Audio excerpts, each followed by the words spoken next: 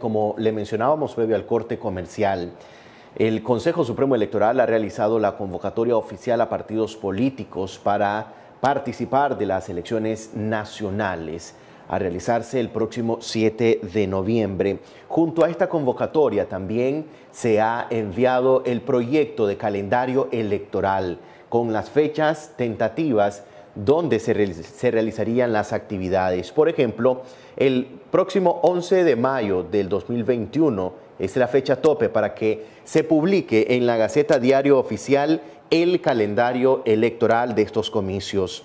Asimismo, del 13 de mayo al 14 de mayo se emitirán el reglamento de ética electoral.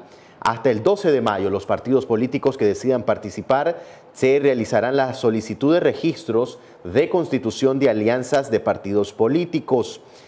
El 14 de mayo es la fecha tope para que el Consejo Supremo Electoral autorice la constitución de alianzas de las agrupaciones políticas. El 17 de mayo se hará la confirmación del orden de ubicación de los partidos políticos y alianzas de partidos en las boletas electorales. Del 28 de julio al 2 de agosto de este año se hará la presentación y registro, registro provisional de candidatos a presidente y vicepresidente de la República, diputados de la Asamblea Nacional, nacionales y departamentales y diputados al Parlamento Centroamericano.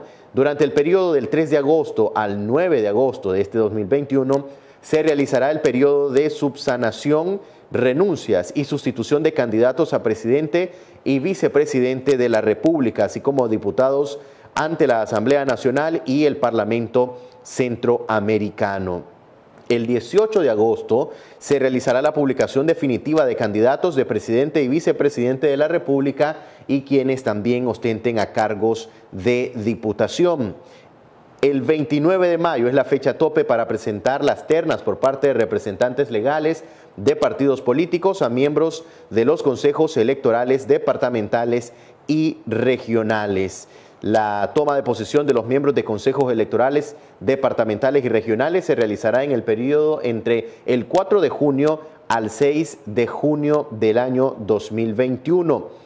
El último día de entrega de credenciales de fiscales a partidos políticos se realizará el próximo 28 de octubre. La toma de posesión de los miembros de la Junta Receptora de Votos el 31 de octubre. El 21 de agosto de este año 2021 se realizará el inicio de la campaña electoral y el 3 de noviembre será el último día que tienen los partidos políticos para realizar esta campaña y convencer a la ciudadanía del voto. Son parte de las fechas que ha propuesto el Consejo Supremo Electoral de cara a las elecciones nacionales del próximo 7 de noviembre del año 2021. Ya este documento ha sido enviado a partidos políticos, con lo que ya se está realizando entonces la convocatoria oficial para las elecciones del próximo 7 de noviembre.